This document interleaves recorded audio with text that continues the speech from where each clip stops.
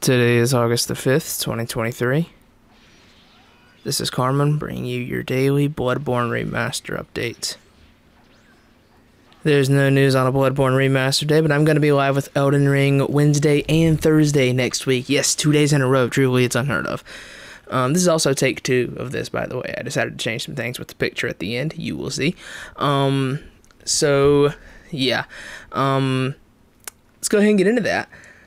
Uh, day 750 of Daily Bloodborne Remaster Update. Crazy stuff, crazy stuff, crazy stuff. So, the new quote on the picture for the next 250 days before I change the picture uh, at day 1000 on April 11th. Uh, we're going to test this. We're going to see if this gets demonetized or not. If it does, we will switch to what the uh, guy in the fishing hamlet says if you have the cauliflower rune, which is curse here, curse there, curse for he and she, why care? Um, but for now, we are going to go with the a curse. This is a damn curse.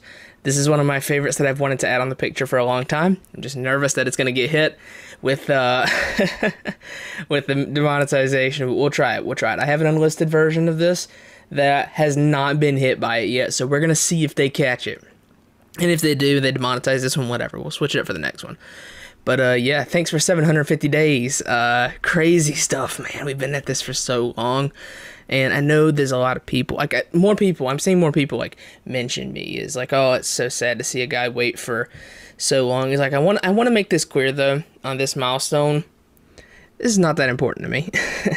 this is something I do at the end of a day after work, and then go to bed. And that's exactly what I'm doing right now. I'm recording this, uploading it, going to bed, and that's that.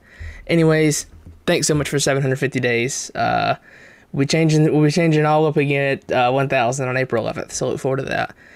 But anyways, there's no news on a Bloodborne remaster today, and that has been your daily Bloodborne remaster update for August the 5th, 2023.